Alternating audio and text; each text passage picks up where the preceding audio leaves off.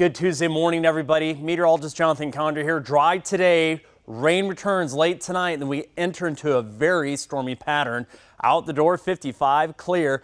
Now, winds will be higher this morning than they will be this afternoon.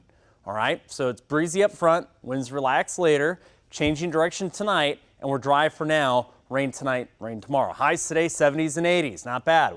Clear start, becoming partly cloudy. Tonight, winds come around the northeast lows into the 50s and 60s.